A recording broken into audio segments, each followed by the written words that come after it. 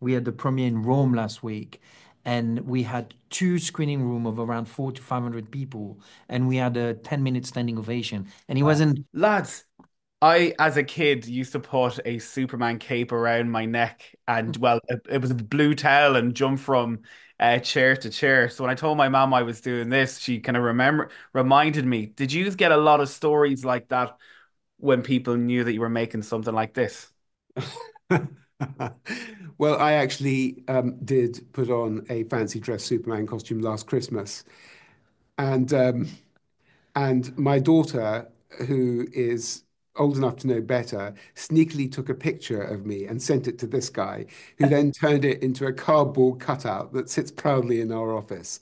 Um, so, so, so so it doesn't, yes, you don't have to be a child to still wear a Superman it, costume. it's the child within. That's what it feels to, uh, to us.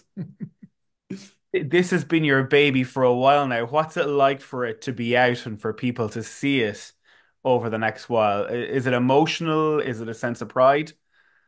Um, I think it's a bit of everything. I mean, there's always a sort of, it's weird with film because there's always a down bit. You know, the film was finished in January, late December, early January, and we, we showed it in Sundance. And it, it kind of went through festivals, but we didn't overexpose it. So, you know, you start thinking about other projects and you start thinking about things. But when he comes back now, I think the main pride is actually go to different countries and seeing the re reaction. We had the premiere in Rome last week, and we had two screening room of around four to 500 people, and we had a 10 minute standing ovation. And it Wow. wasn't the canned standing ovation where you have the people in the room forcing you to apply to to to, to clap. People were really, really touched by the film and the sense of family, legacy. There was a lot of the themes in our film that really touched the people, and that's that that that is really powerful. Yeah, that's wonderful. Were you surprised at the amount of footage that you've had? Like there was a lot of family footage that I, was like, "Whoa, Jesus, there's lots going on here." Was that like a gift to you when you when you went to these guys and said, "Right, this is what we have"? We, we, we, I mean, yes, you're right, but we are unbelievably greedy. Um, so there was never enough. Um, you know, I, I, and that was despite the fact we had literally mountains of tapes in the kitchen in our office, couldn't even get through to the bridge. Um, so we we did have a tremendous amount, but you know, you're always looking to make every sequence as brilliant as it possibly can be. And we have an incredible archive team who digitized this material, went through it, through it all, but also constantly sought to find new materials outside the family. And then, you know, we had a wonderful conversation with Marsha Williams, um, Robin's Robin's kind of widow, I suppose, partner at the time of the the this this story. And uh, and Marsha was, was said, well, I think I might have some um, some archive, and we already knew we had piles of family archive, but the the thought of getting specific Robin Williams um, and Christopher Reeve archive together was just like, yes, please, Marsha, um, send us all of it. Um, so so yeah, Isn't that lovely that everyone now knows how great friends they were? Because unless you were a fan of Superman or just say Robin, you wouldn't have known how close they were. What was that like for you guys having a front row seat, looking at that archive, go, geez, they really were proper friends. I think it's exactly what you just said. It's, it's just it, it was surprising. We, I mean, me personally, I really didn't know, and we find a lot of audiences just really get. That's a very surprising sort of aspect. The two people wouldn't you would not put them together as being best mate and, and brother in arms, but you know, as um, Glenn Close says it, you know, Chris could match. They could match each other, and I think they could match each other because actually Chris was very funny. He had a very good, strong sense of humor. And but the thing is that they were very concerned about other people. And okay. they were very, you know, in there's many things we actually don't know about Robin Williams.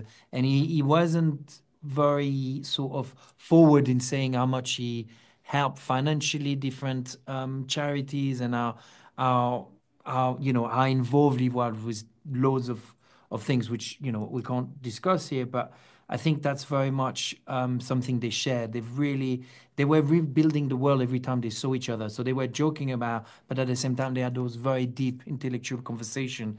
And you know, Robin didn't shy away from from Chris after the accident. He actually came and helped and just was present in their life. Will Reeve told us the other day that he meets a lot of people through his job, and some people are like, "Oh my God, I knew your father was such a great friend," and he was like, "I've never seen you in the house.